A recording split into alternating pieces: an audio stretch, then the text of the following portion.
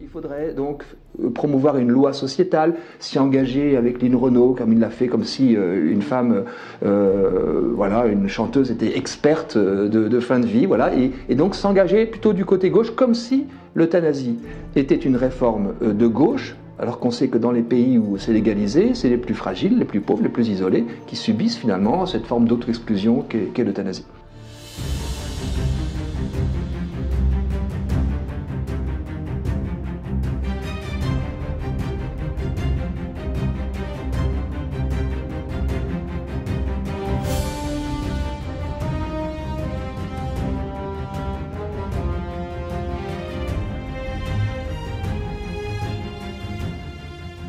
Tugel Derville, merci d'avoir répondu à l'invitation de Boulevard Voltaire. Bonjour.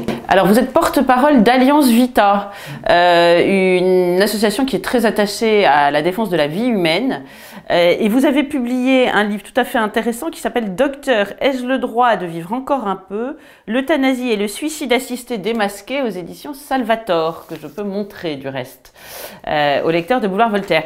Alors pourquoi nous avons choisi de vous inviter pour notre format grand invité de cette semaine? Parce que pendant que la réforme des retraites faisait diversion, eh bien l'euthanasie a mis un pied dans la porte en France, on peut le dire comme ça, euh, à travers une convention euh, citoyenne euh, que vous avez jugée, je crois, effrayante, dont vous avez jugé les résultats effrayants sur votre compte Twitter. Alors, est-ce que vous pouvez nous en dire un peu plus à ce sujet?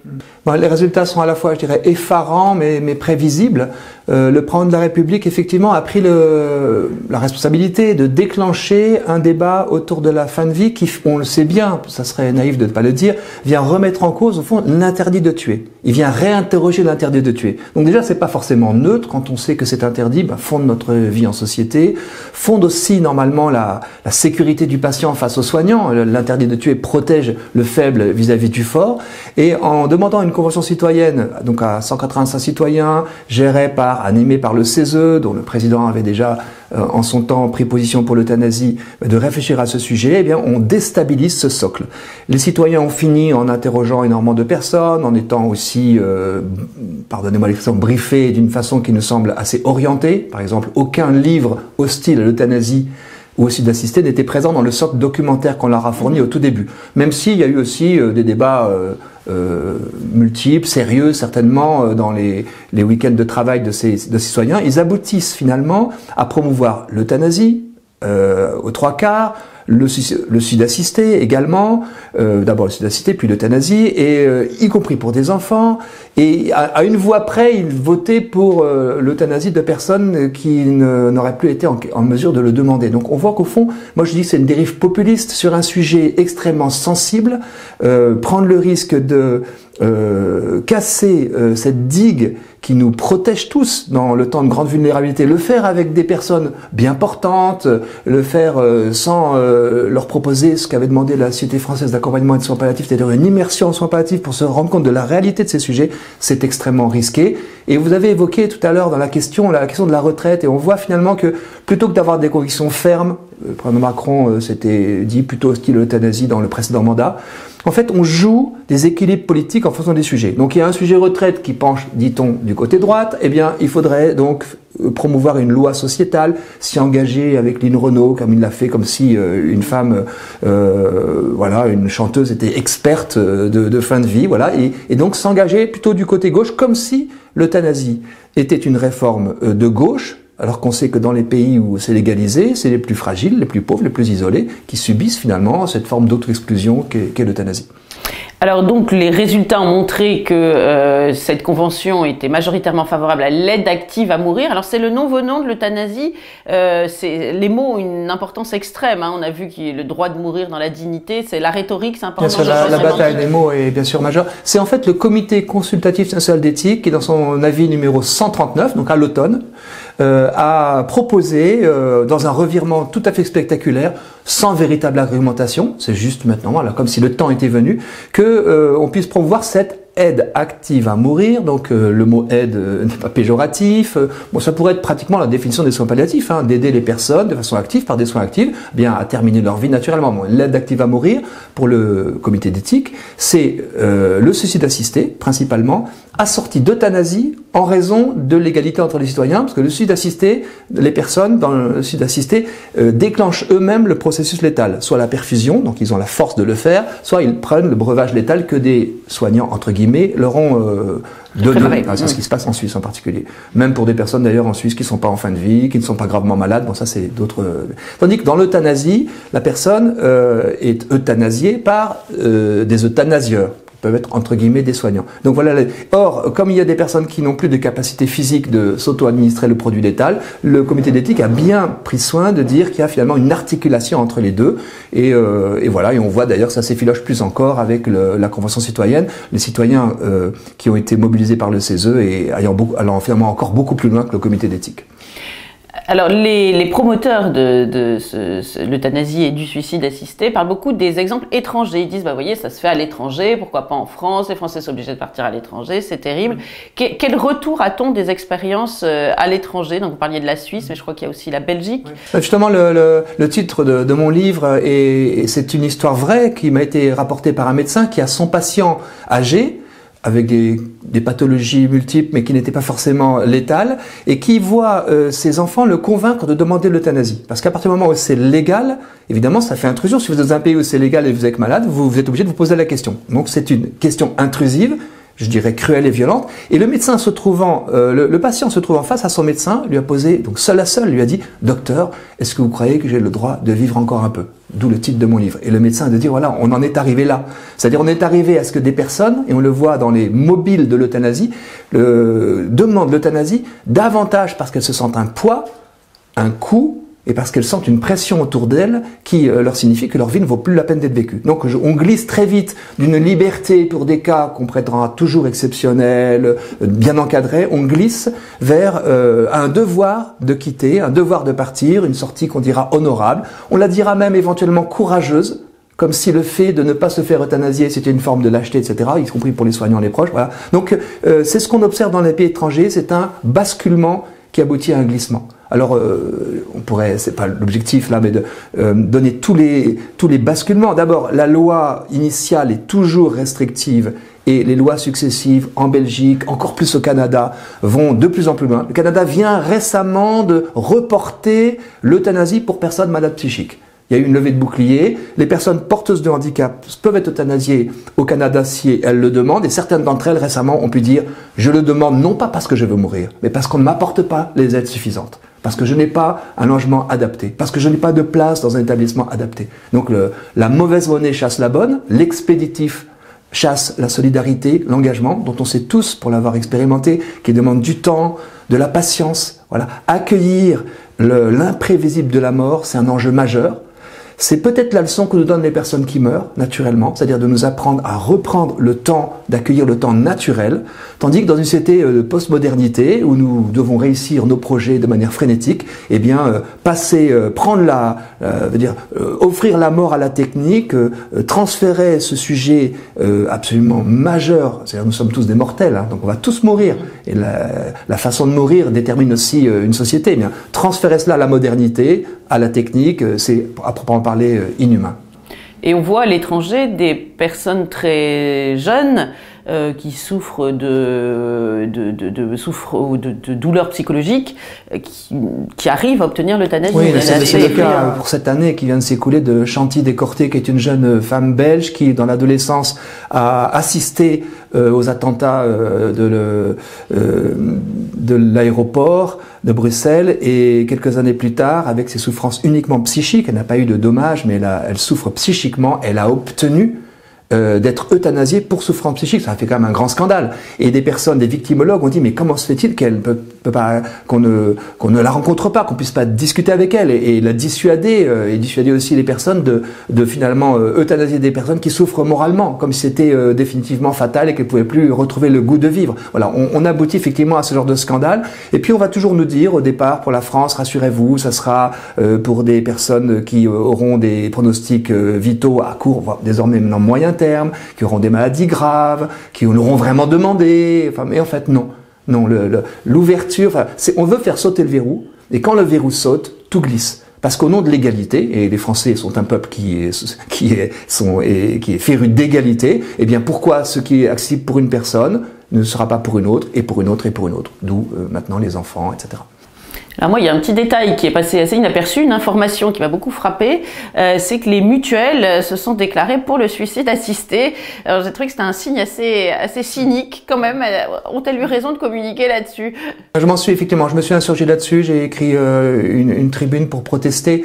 Au fond, bon, il y a, il y a un courant de pensée idéologique qui survalorise l'autonomie mais nous risquons nous-mêmes, je parle pour moi, de nous en faire complices, lorsque évidemment on a envie d'être autonome, d'agir librement, mais en survalorisant l'autonomie et en estimant que euh, euh, l'ultime liberté, c'est de se donner la mort. Bon, c'est extrêmement risqué quand on voit que normalement les mutuelles, euh, comme toute la société, est engagée dans la prévention de toute forme de suicide de la désespérance. On sait bien tous, pour l'avoir vécu dans notre environnement amical, parfois familial, que le suicide est un drame qui laisse des traces considérables, qui euh, concerne toute la société. Même une personne totalement désocialisée, son suicide me concerne, blesse notre humanité. On aurait voulu pouvoir lui venir en aide éviter ce suicide. Donc effectivement, quand les mutuelles, dont on sait que leur euh, économie est difficile et compliquée, les équilibres budgétaires sont des enjeux majeurs dans le domaine de la santé, prend position pour cela, on est en droit de se dire, mais alors euh, les sociétaires euh,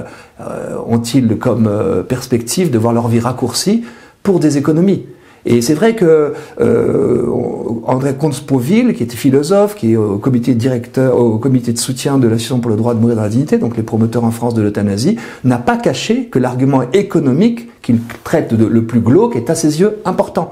Il a lui-même affirmé, ce qui est très douteux et compliqué, que dans les dans les six derniers mois de la vie, on coûterait euh, autant que dans le reste de, sa vie. Mais on ne sait jamais quand on va mourir, donc c'est voilà. Mais donc, l'argument économique a commencé à transparaître. On sait qu'on a abandonné la loi grand âge et autonomie. Le gouvernement, euh, euh, dans le mandat précédent du président actuel, a renoncé s'inédier à cette loi, qui était d'autant plus nécessaire qu'on avait, on a traversé une pandémie où nous sommes tous interrogés sur la place des personnes âgées dans la société. Voilà. Donc on abandonne cette loi et on va basculer vers l'euthanasie Énorme risque, effectivement, une forme d'indécence. Et même, euh, je pense, euh, Jérôme Gage, député socialiste, a dit il y a quelque chose d'indécent, alors qu'il est pour, pour l'euthanasie, à proposer ce type de loi quand on abandonne tant et tant de personnes âgées à la solitude, à ce que nous on appelle euh, au fond la, la mort sociale. Il y a, il y a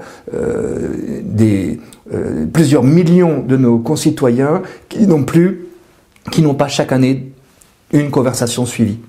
Voilà, donc euh, qui sont vraiment dans l'isolement. Donc l'enjeu, c'est d'être solidaire de ces personnes, c'est pas de les pousser vers la sortie. Est-ce qu'il n'y a pas un paradoxe à avoir euh, géré de fait le grand âge pendant la crise sanitaire euh, de façon extrême, en, voulant les sauver à tout prix, quitte à les isoler totalement, et, à aujourd'hui regarder d'un œil assez amène cette euthanasie qui, arrive? Oui, je pense qu'il y, y a, ce paradoxe. Bon, dans la panique, euh, la société et les pouvoirs publics ont eu des comportements au fond inhumains. On s'en rend bien compte maintenant. Heureusement, des structures comme Tenir ta main, par exemple, se sont engagées désormais pour forcer le fait qu'on ait toujours droit d'accès à une personne plutôt que de devoir être privé à la fois de l'accompagnement et des rites de deuil, comme on a cru devoir euh, l'imposer à la société. Donc effectivement, euh, je veux dire, on est devant un choix de société. Hein. Soit on est solidaire des personnes, euh, il ne s'agit pas d'empêcher la mort à tout prix, hein, il ne s'agit pas d'en... On va tous mourir, donc à un moment donné, il ne s'agit pas de s'acharner. Et donc nous, nous disons souvent à, Alliance Vita qu'il s'agit de écarter euh, à la fois l'acharnement thérapeutique, c'est-à-dire les traitements inutiles ou disproportionnés, et puis l'euthanasie aussi d'assister, le fait d'administrer la mort. Et trouver un, un, un juste milieu qui est l'accompagnement des personnes jusqu'au terme naturel de leur vie, sans bien sûr, euh, empêcher quelqu'un de mourir, ce qui euh, serait aussi inhumain.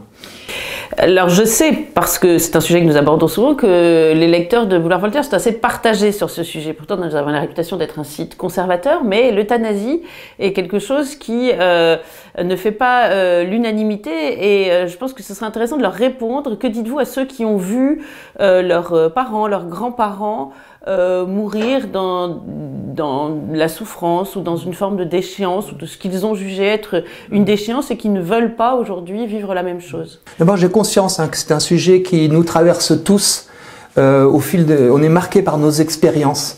Hein, il se trouve, pour, ma part, j'ai vu mon père mourir en soins palliatifs et, euh, et euh, soigné, apaisé, avec les médicaments antidouleurs nécessaires, euh, avec euh, un très grand respect de sa personne. Je dois dire que je me suis dit, je peux mourir à mon tour. C'est-à-dire ça m'a réconcilié avec euh, le caractère inéluctable d'une mort. Et c'est vrai que des personnes qui ont pu euh, expérimenter soit euh, des gens mal soignés sur le plan de la douleur physique, mal accompagnés, avec aussi des fins de vie qui leur semblaient interminables. Mais c'est aussi inhérent à notre société. Donc nous sommes tous dans un bain culturel. Donc je, je, parle pour moi, donc je ne veux pas accuser les auditeurs qui, qui bien sûr ont des doutes, je les entends, enfin je les entends, je les ai j'en ai rencontrés, mais nous sommes dans un bain culturel qui promeut la bonne santé, l'autonomie. J'essaie de voilà. Et, et, mais nous avons l'expérience que euh, la vulnérabilité, euh, c'est ce qui nous relie l'interdépendance. On a besoin d'autrui pour avoir un verre d'eau fraîche, on a besoin d'autrui pour être soigné euh, dans tout ce qu'on a pu avoir dans notre vie, euh, pouvoir voir correctement, etc. Et donc, il y a nous avons un travail à faire dans notre société marquée par la modernité, par la performance, par le, le culte peut-être idolatrique de la performance, de voir ce que les plus fragiles nous apportent. Pour ma part, vous voyez, j'ai rencontré quand j'avais 20 ans euh, des enfants porteurs de handicap et ils m'ont montré le rayonnement de la, dignité humaine au travers même du handicap. Euh, je travaille beaucoup avec Philippe Pozzo di Borgo qui est euh, à l'origine du film Intouchable et qui dit mais attention, si vous éliminez au bout de la vie les plus fragiles, les plus vulnérables, les intouchables, si vous vous m'éliminez, au fond, c'est vous-même que vous finissez par éliminer. C'est-à-dire vous vous donnez euh, une injonction d'être bien portant qui est à proprement parler inhumaine. J'ai discuté avec, euh, par exemple, Noël Châtelet, qui est la, fille euh, de, Mireille Jospin, sœur de femme, mère de l'ancien Premier ministre, donc Noël Châtelet, loué dans un débat que j'ai eu avec elle la leçon de courage que leur a donné leur mère en mourant en relativement bonne santé par un suicide dans son grand âge.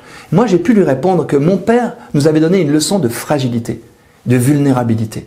Et c'est une très belle leçon qu'un père peut donner à ses enfants, d'être toujours là, présent dans sa grande vulnérabilité. Vous voyez, j'ai une amie qui est euh, incontinente à cause d'un handicap de naissance, un spina bifida, et elle a un de ses amis qui lui a dit, moi tu sais, si je deviens incontinent, euh, je préfère mourir. Mais c'est pas une demande que font les personnes incontinentes. C'est une demande que nous, bien portants, nous pourrions avoir envie de faire pour tel ou tel de nos proches qui maintenant a besoin de couches ou de protection euh, à la fin de sa vie parce qu'il est devenu incontinent. Les personnes incontinentes euh, dépassent cette réalité complexe, difficile. Donc attention à ne pas nous projeter en disant si j'étais comme ça, plutôt mourir. Et euh, je me souviens d'un monsieur, ça m'avait beaucoup touché, j'en parle de mon livre, qui, disait, euh, voyez, je n'aurais jamais cru, il était en fin de vie, en soins palliatifs, il avait des draps propres, et il disait, je n'aurais jamais cru que la caresse d'un drap propre sur mon menton me provoque un, tel bien-être.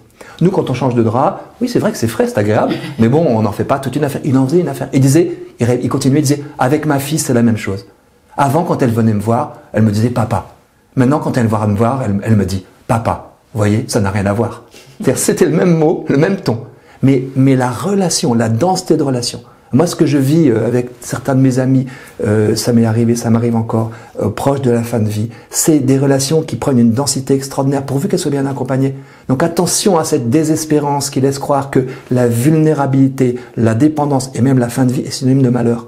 Nous avons tous de grandes souffrances personnelles, familiales, existentielles, voilà, on pourrait en parler, mais je connais pas les vôtres et vous connaissez pas les miennes, mais et puis voilà, mais euh, euh, il y a souvent une étrange simultanéité entre des moments extrêmement difficiles de nos vies, des grandes épreuves et des grandes joies dans la relation. Voilà. Donc j'ai envie de leur dire, voilà, ne, passez pas à côté de ces temps de vulnérabilité qui sont des, temps souvent de réconciliation pour se dire merci, pour se demander pardon, pour se dire qu'on s'aime. Souvent on attend ces derniers moments pour exprimer une tendresse qui peut-être ne s'exprimait pas avant parce que dans la bien-portance on, on prend des distances. Et est-ce que le scandale des maisons de retraite, dit scandale Orpea, ne, pèse pas aussi dans ce débat sur l'euthanasie? Est-ce qu'un certain nombre de personnes ne se disent pas, bah, de toute façon, c'est inéluctable, toutes les personnes âgées ne pourront pas être bien traitées, elles ne le sont pas déjà, donc il n'y a pas d'autre choix. Bon, ça serait vraiment un drame épouvantable si euh, on, on s'orientait vers l'administration de la mort aux personnes âgées, très âgées, très isolées, euh, juste en raison de notre incapacité à nous montrer solidaires. Ça serait vraiment une faillite de la société. Mais c'est vrai que nous sommes devant un choix de société.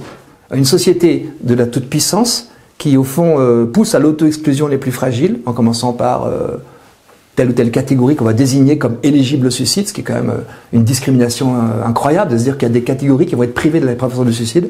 Et puis ensuite, euh, donc l'enjeu pour nous, c'est est-ce que je suis solidaire de telle ou telle personne, de cette tante âgée sans enfant, de tel ou tel ami, telle ou telle personne? Mais c'est un choix de bonheur en fait de se montrer solidaire.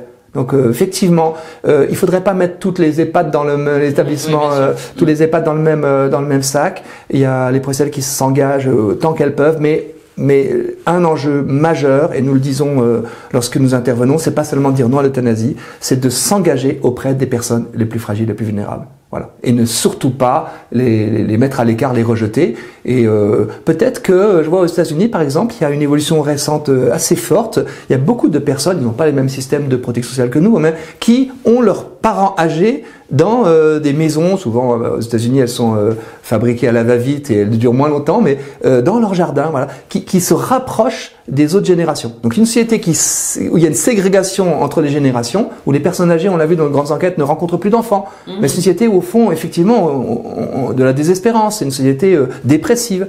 Donc un enjeu absolument majeur, c'est de relier les générations.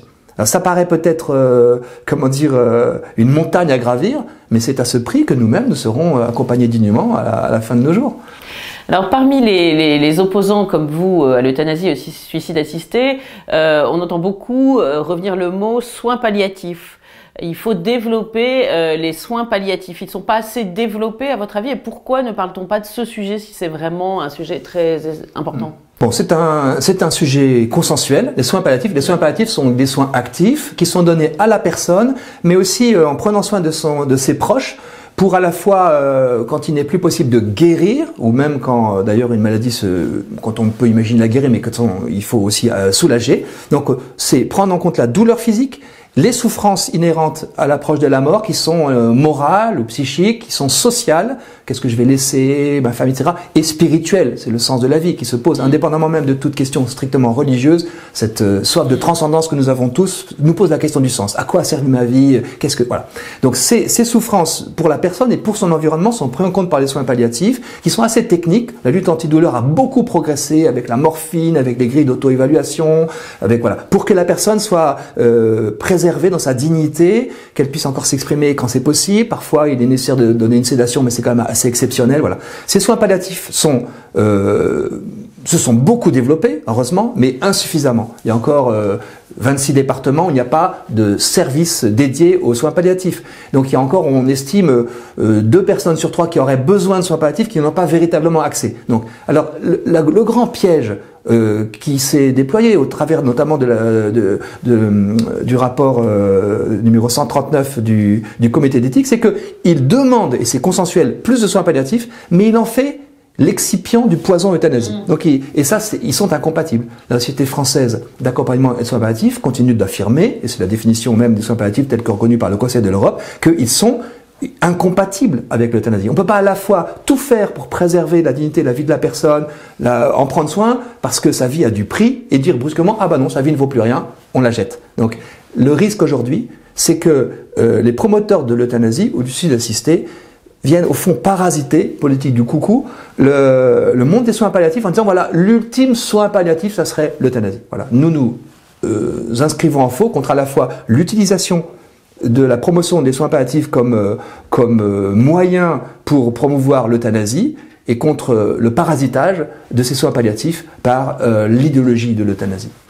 Moi, j'ai découvert récemment qu'il y avait des équipes volantes de soins palliatifs. Équipes mobiles, oui, tout à fait. Oui, oui, oui, peut-être. Non, mais tout à fait. Ou on peut dire aussi ça, qui soit interviennent dans des services hospitaliers pour compléter l'apport des services classiques en soins palliatifs quand c'est nécessaire, soit même à domicile, des personnes qui peuvent être accompagnées à domicile en soins palliatifs ou dans des EHPAD. Voilà. Donc cette culture-là, elle doit se développer euh, très largement. C'est une culture aussi qui prend au sérieux la douleur. hein. Dans mon livre, je, je signale que les grands spécialistes de la douleur physique hein, euh, nous prends son professeur Perrault par exemple, elle n'est pas assez prise au sérieux. Moi, j'ai été opéré cinq fois des genoux et je me souviens de mon chirurgien, très sympathique au demeurant, mais qui me disait non, mais vous êtes un intellectuel, vous votre douleur c'est dans la tête. Mais je pouvais dire que ma douleur c'est dans le genou. Donc quand on a mal, et alors quand on a vraiment très mal, on préfère mourir. On a envie de mourir. Donc si on n'est pas bien soigné, si les centres antidouleurs connaissent les files d'attente qu'ils connaissent aujourd'hui, des personnes qui ont des douleurs chroniques peuvent être désespérées. Et je me souviens d'une patiente qui arrivant euh, dans un centre de soins palliatifs avec le désir de mourir, répondait devant une caméra ah non je n'ai plus envie de mourir parce que voilà euh, voilà. J'étais hier soir moi dans un centre de soins palliatifs et j'ai pu chanter euh, auprès d'un ami euh, avec son épouse et, et, et- et voir à quel point euh, c'est des lieux de vie. Il faut vraiment le voir pour le croire hein. des lieux de vie d'intensité où il y a beaucoup de joie beaucoup d'humour et de la peine aussi, et, de la douleur, et le deuil qui se prépare, et la, tristesse de voir que la mort va faire son œuvre. Mais euh, il, voilà, il, faut, vraiment euh, euh, ne pas croire que ce sont des mouroirs. D'ailleurs, parfois, on peut aussi y faire une pause. hein. C'est-à-dire qu'il y a des personnes qui, euh, euh, très fatiguées, avec des difficultés de- d'ajuster les traitements, vont faire un séjour en soins palliatifs et après peuvent retourner éventuellement chez elles. pas. C'est pas inéluctable. Alors, je vais me poser une question un peu provocatrice. Est-ce que euh, c'est pas plié? Est-ce que le combat n'est pas perdu d'avance On sent bien que euh, vous avez parlé de Lynn Renault, qui a dit qu'Emmanuel Macron était convaincu. Est-ce que c'est le, c'est quoi? C'est le dernier barreau d'honneur pour vous? C'est une bonne question, puis je me la pose bien souvent, vous imaginez, depuis des années. En fait, bon, d'abord, euh, sans, sans bien sûr euh, répondre de façon agressive de votre question, qui est parfaitement légitime, je dirais, qui aurait intérêt à ce que je sois, ou que nous soyons, découragés? On le voit bien que ceux qui font cette promotion auraient vraiment envie qu'on baisse les bras et qu'on laisse tout filer. Donc, euh, la résistance à- aux lois profondément injustes, c'est une question d'honneur, c'est une question de vérité, c'est aussi une question d'efficacité. Plus on aura résisté, plus on aura montré les menaces, les risques, et plus quoi qu'il arrive, eh bien, on limiterait les dégâts de telle ou telle loi et de telle ou telle application. Donc, à la fois, euh, vous voyez, c'est, c'est, et puis, je dirais aussi encore, oui, non, rien n'est plié parce que l'avenir n'est pas écrit. Hein, les figures dialectiques bien connues de l'inéluctabilité tentent à nous étouffer, à dire voilà, c'est foutu. Non, l'histoire, c'est vous, c'est moi, c'est nous qui la faisons. C'est à nous de la réaliser et on le voit. L'histoire n'est pas finie. Vous avez vu ce qui se passe dans le monde. La pandémie prévisible peut-être, imprévisible à bien des égards, une guerre, des questions autour de menaces nucléaires, etc. On ne sait pas ce qui va devenir. Et alors ce qui m'a le plus, ce qui me frappe le plus, c'est de voir la- le caractère versatile des responsables politiques. Je suis désolé de, de c'est- c'est c'est quand même une, une très belle responsabilité à cette politique. Je ne veux pas la, la dénigrer, mais j'ai vu tant et tant de personnes qui m'ont dit non mais j'ai réfléchi, j'ai changé d'avis. Donc euh, ils disent pas j'ai retrouvé ma veste. Donc en fait Emmanuel Macron quel est son avis sur le sujet vraiment concret, précis sur moi Je suis pas certain qu'aujourd'hui il le sache vraiment. Il y avait un dîner qui devait avoir lieu, le dîner a été annulé, il y a une déclaration, après il y en a une autre, etc. Voilà, on assiste à des louvoiements. Des louvoiements parce que des convictions ne sont pas étayées dans, un, dans une anthropologie, dans une réflexion sur l'être humain, sa dignité, tout ça est flottant. Voilà, donc euh, attention effectivement à ne pas euh, penser parce que c'est euh, euh, parce qu'effectivement les signaux sont au rouge, vif, hein, qu'il n'y a rien à faire. Bien au contraire. Et nous sommes surpris quand même de voir que, on parlait des retraites au début, euh, les, retraites sont un sujet qui enflamme le pays et euh, l'euthanasie, semble-t-il, intéresse euh, une petite niche, euh, je caricature, de catholiques euh, et ou de religieux, mais euh, c'est tout. Disons que, alors, il y aurait un risque hein, pour moi à, je, je, je le décris par le menu, à catholiciser le débat. oui, oui c'est euh, intéressant faut la regarder, question. Vous avez, euh, vous avez euh, euh, des organisations professionnelles représentant plus de 800 000 soignants et plus encore euh, quand on ajoute d'autres qui s'y sont agrégés, qui ont affirmé que donner l'euthanasie, donner la mort n'est pas un soin, qui s'y sont opposés. Donc ceux qui ont l'expérience de terrain les volontaires en soins palliatifs, les soignants sont tout aussi engagés que d'autres qui le sont pour des motifs peut-être plus, euh, plus de transcendance. Hein. Donc euh, attention à ne pas catholiser le débat.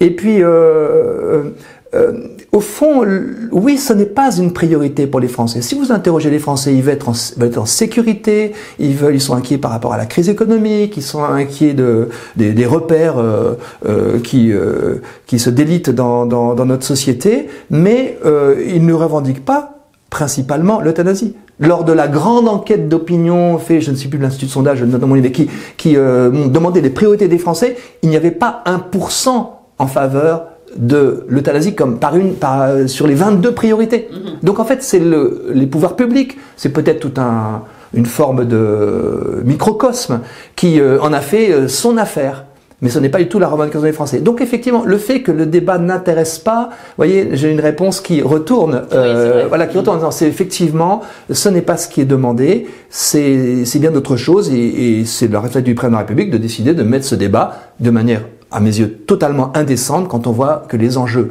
principaux sur ce champ-là ça serait loi grand âge et autonomie, aide aux personnes âgées, euh, la crise de, l'hôpital, euh, les déserts médicaux, euh, la démoralisation de beaucoup de soignants. Bah, tout cela, c'est bien prioritaire en matière de, santé, plus que, plus que de casser le repère de l'interdit de tuer.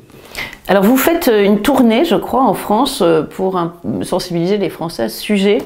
Euh, vous allez passer un peu partout? Bah, J'ai une vingtaine de villes, ah de, villes où, effectivement, en m'appuyant sur mon récent livre, mais aussi en, m'appuyant sur tous les derniers, derniers éléments, je voudrais vraiment encourager les Français qui viendront à s'engager à s'engager dans ce débat, à s'engager en faisant savoir leur responsable politique euh, leur option, en demandant euh, des soins palliatifs, mais sans les demander comme excipient de l'euthanasie, mais vraiment comme une culture qui doit se développer. Euh, en signant aussi l'appel que Philippe Pozzo di Borgo a lancé dans le collectif auquel nous participons, Soulager mais pas tuer, qui défait bien le piège dans lequel beaucoup, peut-être parmi nous aussi, se, sont, sont plongés comme s'il fallait choisir entre, entre euh, souffrir atrocement et mourir paisiblement. Mm. Non, il y, a une voie pour ne pas souffrir atrocement et l'euthanasie n'est pas une mort paisible, c'est une mort violente qui laisse des traces hein, sur les, les personnes, les soignants. C'est pas une liberté. je le démonte dans, dans mon livre là, où j'essaie de montrer que les trois arguments qui successivement ont poussé l'euthanasie, d'abord la souffrance, alors qu'il y a des moyens de lutter euh, contre la, douleur et d'accompagner les souffrances. Euh, ensuite, pour la dignité, comme si on pouvait perdre sa dignité. Donc là, il y a un travail à faire pour vraiment reconnaître la dignité des plus fragiles. Et maintenant, sur la liberté, et je montre, donc je pense que je le, je le dirai dans ces conférences, à quel point c'est une fausse liberté. Voilà, une liberté sous la pression de la maladie, d'une douleur mal soignée, sous la pression des proches, de l'environnement. Et puis quel est le sens d'une liberté qui prive d'un reste à vivre dont j'ignore tout? Moi, j'ai rencontré une pharmacienne qui avait euh, les produits en tant que pharmacienne pour euthanasier, sa fille et qui lui avait promis. Je te promets, je le ferai. Et puis elle n'a pas, sa fille rentre dans une semi-coma, et la, pharmacienne m'a dit, mais j'ai pas eu le courage, j'ai pas eu le cran, j'ai pas réussi. Sa fille s'est réveillée, dans ce temps qu'on appelle les, euh, autrefois de rémission, elle s'est réveillée de ce coma un temps, et il s'est passé des choses extraordinaires avec ses tout petits enfants, avec son mari, avec sa mère. Et elle a dit, heureusement maman que tu m'as pas pris au mot. Donc cette espèce d'idée que j'ai la liberté de, de m'interdire de vivre ces moments qui en fait me privent de cette liberté-là ultime, qui sont des moments importants, des moments précieux, où il y a des mots, des paroles échangées, où il y a un temps aussi qui n'est pas celui de la, toute-puissance sur lequel je me sentirais responsable d'avoir provoqué cela, mais le temps où je consens à l'imprévisible. Tout ça, c'est contraire à la véritable liberté. Donc je vais essayer de le montrer pour qu'effectivement les personnes ne soient pas piégées au fond par euh, euh, ce débat euh, à haut risque. Très bien. Bah, écoutez, merci euh, Tugduel Derville pour ce, cet exposé tout à fait euh, intéressant. Euh, je recommande votre livre Docteur, ai-je le droit de vivre encore un peu? L'euthanasie et le suicide assisté démasqué aux éditions Salvator. Merci, euh, chers lecteurs de Boulevard Voltaire. N'oubliez pas de vous abonner à notre chaîne YouTube et aussi à la newsletter du site. Bon dimanche.